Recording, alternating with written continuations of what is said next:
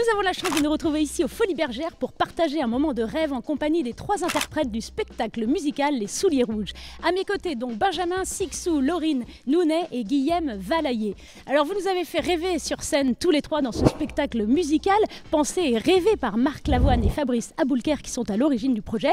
On regarde tout de suite un extrait, on se retrouve juste après.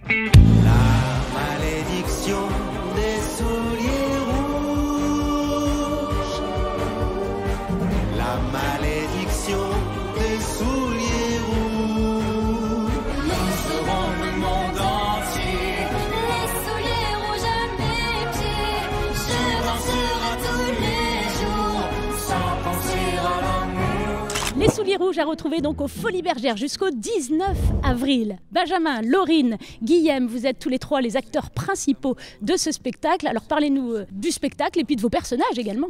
Qui Qui commence commence? Qui Allez, commence? j'y vais. Allez, l'honneur aux filles. C'est l'histoire d'une jeune femme qui s'appelle Isabelle et qui est passionnée par la danse depuis toujours et elle décide d'aller à Paris pour passer l'audition que propose Victor, le grand chorégraphe de renom, parce qu'il cherche sa danseuse étoile pour le ballet maudit des souliers rouges. Et donc, l'histoire des souliers rouges, c'est que la jeune femme qui va pouvoir les porter euh, va pouvoir accéder à la gloire et au succès, mais va devoir renoncer à l'amour. Et c'est là où justement Ben entre en jeu dans le rôle du journaliste passionné de danse qui va s'éprendre d'Isabelle évidemment. Je suis euh, surexcité à l'idée de qu'il ose monter ce, ce ballet maudit, cette, c'est- cette légende. Ouais. Et, et donc euh, je fais aussi, euh, on monte un peu ce, ce cours euh, tous ensemble, quoi. on est tous fous. Ça commence vraiment à un degré de- d'excitation et de folie pour chacun de nos trois personnages. Et alors pourquoi est-ce que c'est dangereux alors justement pour Isabelle? Parce que c'est le diable qui rentre en jeu. Là. Il y a une histoire de, de malédiction, donc, et hum, de dilemme, de choix à faire, de conflits intérieurs, de passion. Le sous-texte, c'est faire, faire des choix. Et on parle du diable, mais c'est aussi le diable qu'on a en soi, et le bon côté, le mauvais côté, le face obscure. Est-ce qu'on décide de, de la laisser euh, parler, ou alors est-ce qu'on va au contraire maîtriser tout ça, ou laisser complètement faire les choses? Alors ce qu'il faut préciser aussi, c'est qu'à l'origine, il s'agit d'un conte d'Anderson. C'est un conte musical. Ça a été ensuite un album musical qui a d'ailleurs été sacré euh, disque d'or avec Marc Lavoine, Cœur de pirate et Arthur H. Alors est-ce que vous n'avez pas eu une petite pression supplémentaire de passer après ces trois grands artistes?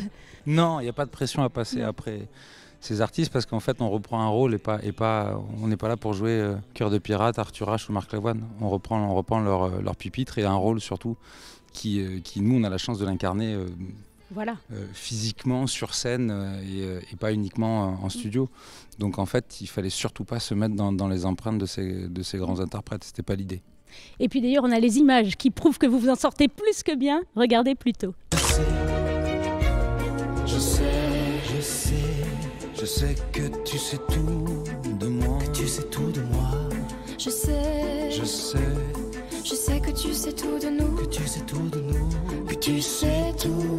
On passe euh, du conte musical au conte de fées. C'est particulièrement vrai pour toi, Laurine, puisque c'est ton premier grand projet euh, musical et qu'on est venu te chercher. D'après ce que j'ai compris, tu as été casté sur les réseaux sociaux.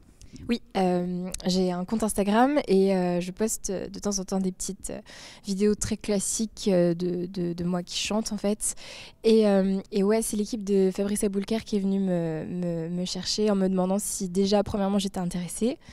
Euh, C'était le cas et après euh, j'ai fait, euh, j'y suis allée à Paris au studio de, de- de Fabrice Aboulker. J'ai fait quelques essais et puis euh, j'ai dû montrer aussi comment je devais bouger avec mon corps.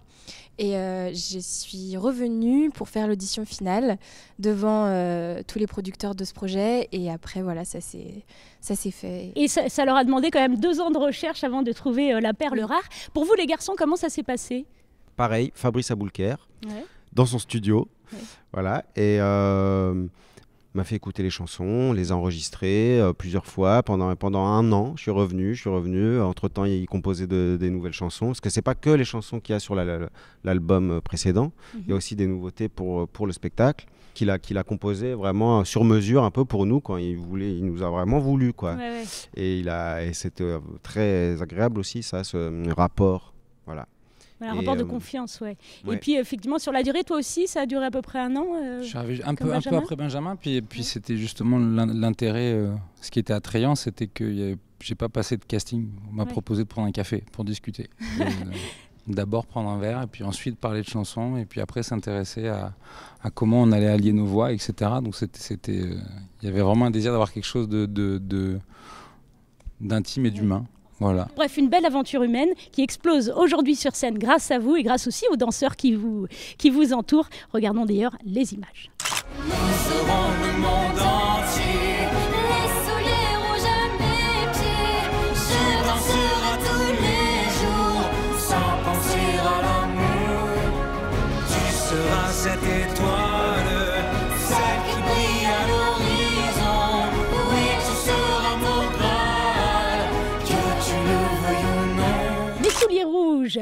Spectacle musical à retrouver aux Folies Bergères jusqu'au 19 avril. Benjamin, Laurine et Guillaume sont à mes côtés.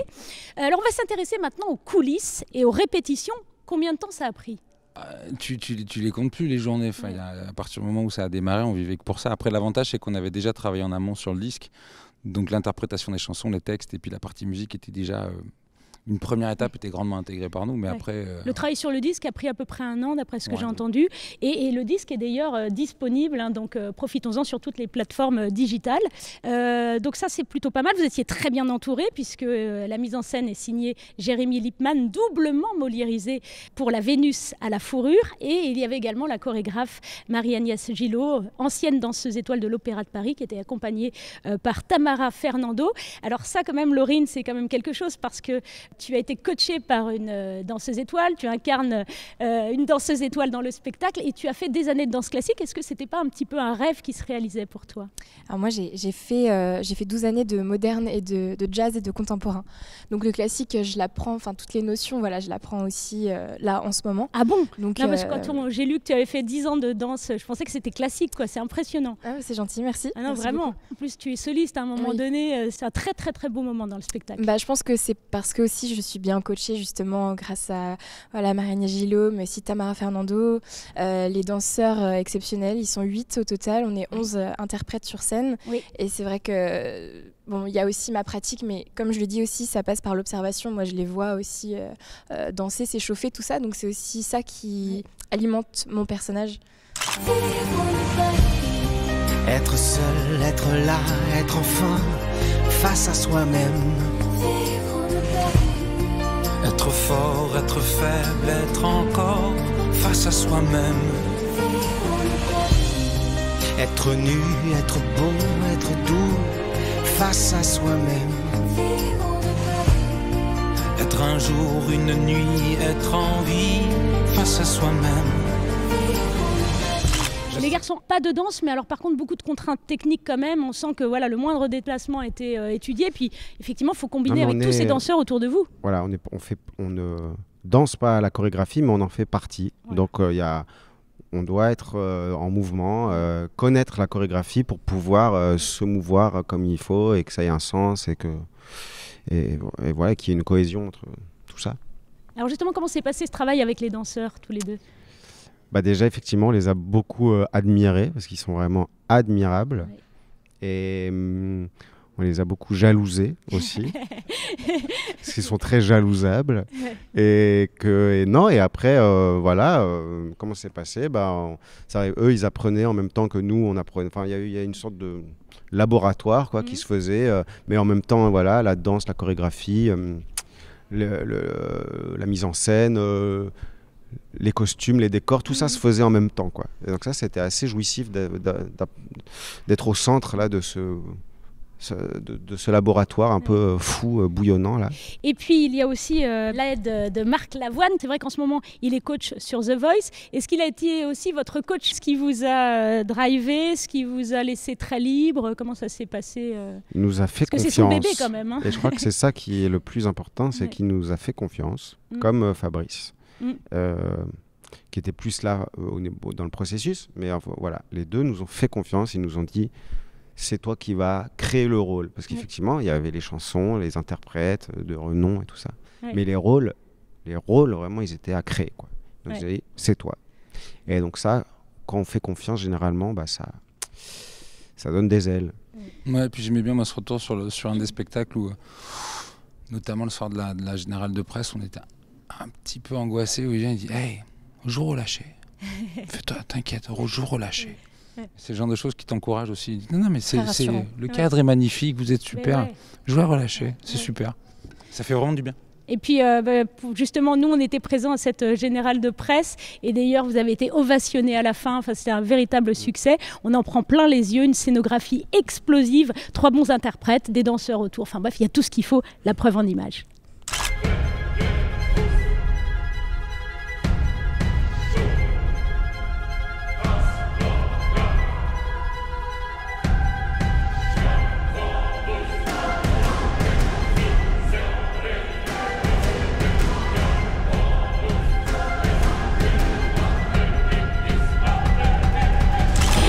Rouges à retrouver aux Folies Bergères jusqu'au 19 avril. Nous sommes en compagnie des trois interprètes Benjamin Sixou, Laurine Nounet et Guillaume Valaillé. Vous le savez, dans les contes musicaux, il y a souvent du vrai, il y a souvent du faux. C'est aussi le cas dans la vie, c'est ce qu'on va vérifier tout de suite avec le vrai faux. Alors, vrai ou faux Joyce Jonathan a écrit sa première chanson d'amour contre l'un d'entre vous.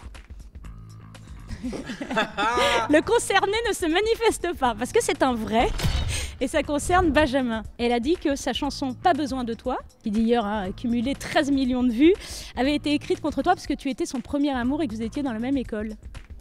Ah, non, mais c'est le, c'est était le folle amoureuse de toi. moi, c'est pas contre moi, c'est oui voilà, sur de moi. toi. Sur moi, contre Ou alors c'est tout contre toi. Elle a dit contre, mais dans un contexte de l'époque, parce qu'elle dit que maintenant vous êtes très amis et qu'elle t'en Oui, voulait pas. oui. Si elle devait venir mardi, elle est pas venue. mais bon. Elle n'est pas venue. Donc petit message passé, hein, Jazz Jonathan est invité à découvrir le spectacle des Souliers Rouges jusqu'au 19 avril. Donc on a bien noté. Vrai ou faux? L'un d'entre vous a failli participer à L'amour est dans le pré. J'aimerais bien que ce soit vrai. Alors Pourquoi je te c'est regarde faux, toi tout de mais pourquoi est-ce que je parle du pré Parce que je suis jardinier. Ma- Voilà. Mon premier métier, c'est jardinier. Donc je suppose que c'est pour ça que tu poses la question. Exactement. Mais il y a une différence entre l'amour des plantes et euh, la misère affective de campagne.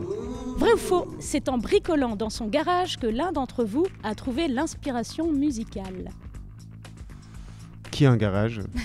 J'ai pas Alors, de garage. c'est un Bon, faux. alors c'est faux. Mais euh, il y a quand même une histoire de garage, paraît-il, puisque Ouais. Laurine... Garage band, euh, peut-être. ouais, il paraît que tu as Non. commencé en faisant des, des chansons dans ton garage. Euh, Non, non, c'est qu'en fait, enfin oui, en fait, c'était. euh, Raconte-moi tout.